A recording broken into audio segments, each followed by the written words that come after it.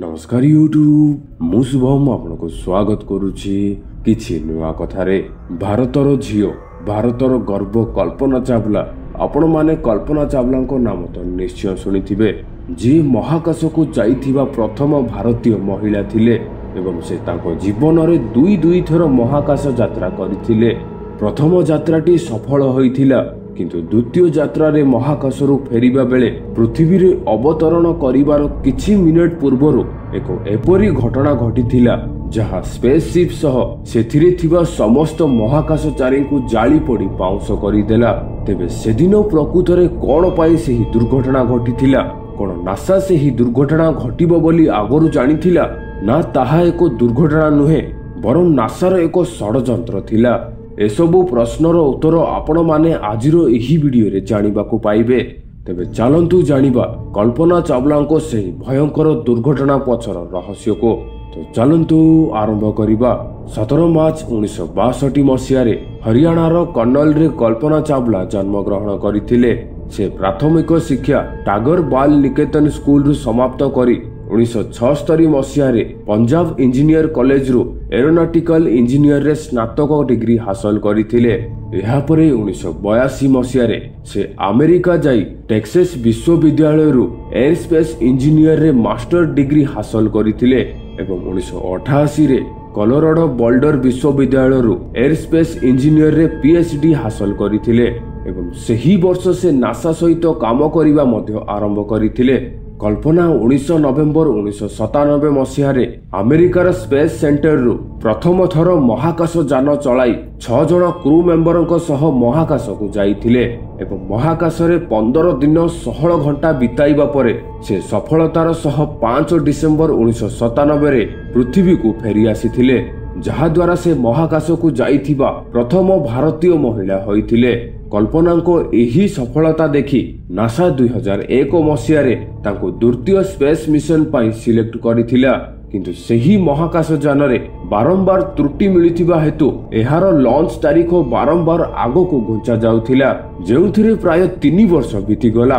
କିନ୍ତୁ ଶେଷରେ ଷୋହଳ ଜାନୁଆରୀ ଦୁଇ ହଜାର ତିନି ମସିହାରେ ଫ୍ଲୋରିଡାର କେନେଡି ସ୍ପେସ୍ ସେଣ୍ଟରରୁ କଲମ୍ବିଆ ସ୍ପେସ୍ ସଟଲରେ ବସି କଳ୍ପନା ମହାକାଶକୁ ଯାତ୍ରା କରିଥିଲେ ଏବଂ ମହାକାଶରେ ପନ୍ଦର ଦିନ ବାଇଶ ଘଣ୍ଟା କୋଡ଼ିଏ ମିନିଟ୍ ରହିବା ପରେ ଏକ ଫେବୃଆରୀ ଦୁଇ ହଜାର ତିନିରେ ସେ ପୃଥିବୀ ପୃଷ୍ଠ ଆଡ଼କୁ ଫେରୁଥିଲେ। ଯେତେବେଳେ ସଟଲ ପୃଥିବୀର ବାୟୁମଣ୍ଡଳକୁ ପ୍ରବେଶ କଲା ନାସାର ବୈଜ୍ଞାନିକ ତଥା ସମଗ୍ର ବିଶ୍ୱର ଲୋକମାନେ କଳ୍ପନାଙ୍କୁ ଏବଂ ତାଙ୍କର ସମସ୍ତ ସାଥୀଙ୍କୁ ସ୍ୱାଗତ ଏବଂ ଅଭିନନ୍ଦନ ଜଣାଇବାକୁ ଅପେକ୍ଷା କରି ରହିଥିଲେ କିନ୍ତୁ ଏକଥା କେହି ବି ଜାଣିନଥିଲେ ଯେ ଏହି ଆନନ୍ଦଦାୟକ ଅପେକ୍ଷା କିଛି ମୁହୂର୍ତ୍ତରେ ଶକରେ ପରିଣତ ହୋଇଯିବ ବୋଲି କାହିଁକି ନା ପୃଥିବୀ ପୃଷ୍ଠରେ ପହଞ୍ଚିବା ପୂର୍ବରୁ ମାତ୍ର ତେଷଠି କିଲୋମିଟର ଦୂରରେ ସ୍ପେସ୍ ସଟଲଟି ବିସ୍ଫୋରଣ ହୋଇ ଖଣ୍ଡ ବିଖଣ୍ଡ ହୋଇଗଲା ଘଟଣାର କିଛି ବର୍ଷ ପର୍ଯ୍ୟନ୍ତ ଏହି ଘଟଣାଟି କିପରି ଘଟିଥିଲା ତାହା କେହି ବି ଜାଣିପାରିଲେ ନାହିଁ। କିନ୍ତୁ ନାସା ଯେତେବେଳେ ଏହି ଘଟଣାର ଅତି ନିକଟତର ଭାବେ ଯାଞ୍ଚ କଲା ତ ଏପରି ଏକ ସତ୍ୟ ସାମ୍ନାକୁ ଆସିଲା ଯାହା ସମସ୍ତଙ୍କୁ ଆଶ୍ଚର୍ଯ୍ୟ କରିଦେଲା।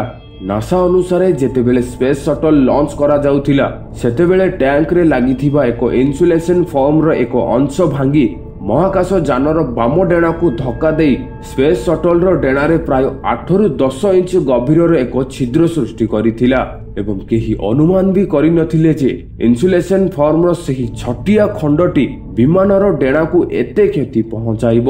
ଯେତେବେଳେ ସ୍ପେସ୍ ସଟଲଟି ପୃଥିବୀ ପୃଷ୍ଠକୁ ଫେରୁଥିଲା ତ ତାହାର ବାୟୁ ସହ ଘର୍ଷଣ ଯୋଗୁଁ ଯେଉଁ ହିଟ୍ ସୃଷ୍ଟି ହେଉଥିଲା ସେହି ହିଟ୍ ବା ଉତ୍ତାପ ସଟଲ ଭିତରକୁ ସେହି ଛିଦ୍ର ଦେଇ ପଶିଥିଲା ଯାହାଦ୍ୱାରା ଏକ ବିରାଟ ବିସ୍ଫୋରଣ ସୃଷ୍ଟି ହୋଇ ସ୍ପେସ୍ ସଟଲଟି ଖଣ୍ଡ ବିଖଣ୍ଡ ହୋଇଗଲା।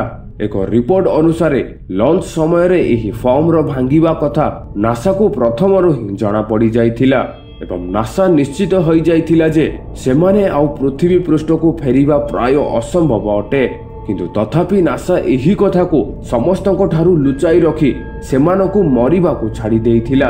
କେତେକ ବୈଜ୍ଞାନିକ ମାନଙ୍କ ମତରେ ଏହି ଫର୍ମର ଭାଙ୍ଗିବା କଥା ମହାକାଶ ଯାନରେ ବସିଥିବା ମହାକାଶଚାରୀଙ୍କ ନିକଟରେ ପହଞ୍ଚା ଯାଇଥିଲେ ହୁଏତ ସେମାନେ କିଛି କରିପାରିଥାନ୍ତେ। କିନ୍ତୁ ଆଉ କେତେକ ବୈଜ୍ଞାନିକ ମାନଙ୍କ ମତରେ ଏପରି କରିବା ଦ୍ୱାରା ମିଶନରେ ଯାଇଥିବା ଆଷ୍ଟ୍ରୋନଟ୍ ମାନେ ଭୟଭୀତ ହେଇଯିବେ ଏବଂ ସେମାନେ ବହୁତ ଜଲ୍ଦି ମରିବାକୁ ଯାଉଛନ୍ତି ଜାଣି କିଛି ଭୁଲ ପଦକ୍ଷେପ ମଧ୍ୟ ନେଇପାରନ୍ତି ଯାହା ମନୁଷ୍ୟ ଜାତି ପାଇଁ ଏକ ବିପଦ ମଧ୍ୟ ସୃଷ୍ଟି କରିପାରେ। ଆଉ ଏଥିପାଇଁ ନାସା ଚୁପ୍ ରହିଗଲା। ତ ଆପଣମାନେ କ'ଣ ଭାବୁଛନ୍ତି? କ'ଣ ସେମାନଙ୍କୁ ଏହି ଫର୍ମର ଭାଙ୍ଗିବା ବିଷୟରେ ସୂଚନା ଦେଇଥିଲେ ଠିକ୍ ହୋଇଥାନ୍ତା? ନା ନାହିଁ ତଳେ କମେଣ୍ଟରେ ନିଶ୍ଚୟ ଲେଖିବେ। ଆଶା କରୁଛି ଭିଡ଼ିଓଟି ଆପଣଙ୍କୁ ପସନ୍ଦ ଆସିଥିବ। ତ ଭିଡ଼ିଓକୁ ଲାଇକ୍ କର ସେୟାର କର ଏବଂ ଚ୍ୟାନେଲକୁ ସବସ୍କ୍ରାଇବ କରି ଘଣ୍ଟି ବି ଦବାଇ ଦିଅ ତ ଆଜି ପାଇଁ ଏତିକି ପୁଣି ଥରେ ଦେଖା ହେବା ନେକ୍ସଟ ଏପିସୋଡରେ ସେତେ ପର୍ଯ୍ୟନ୍ତ ଓକେ ବାଏ